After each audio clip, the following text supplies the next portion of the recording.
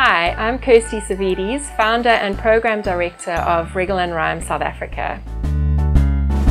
Music has a very special place in the uh, development of children because uh, children's brains are growing and developing. And what we've seen over the years is that music's got this incredible way of connecting with children's brains. And so the really the passion behind Wriggle and Rhyme was to develop a unique and proudly South African program that would use music as a catalyst for learning and development in children. Our classes are really relaxed. They're an hour long. They start with a half an hour structured musical program where the children move through a different theme every term and we use props and puppets and instruments to really engage and stimulate the children in different ways. And then the second half an hour is a social time because we actually believe that music brings people together. And so that social time at that time of your life where you're just desperate for connecting with people that are on a similar stage of life to you is something that we've also been able to incorporate into our program.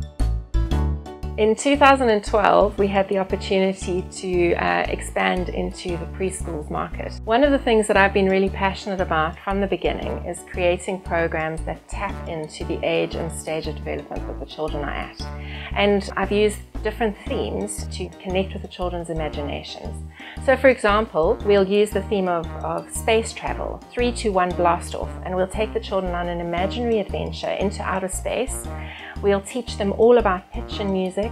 We'll introduce them to different planets and they will have what we call a musical adventure to remember because they will be on this imaginary adventure tapping into all the sights and sounds that they can experience in their own imaginations which we just light up for them but using music as a catalyst for that and that's something that makes Wriggle and Rhyme really unique because I want music to be uh, the hero of our story.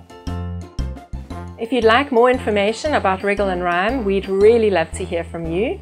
Please head across to our website www.wriggleandrhyme.co.za.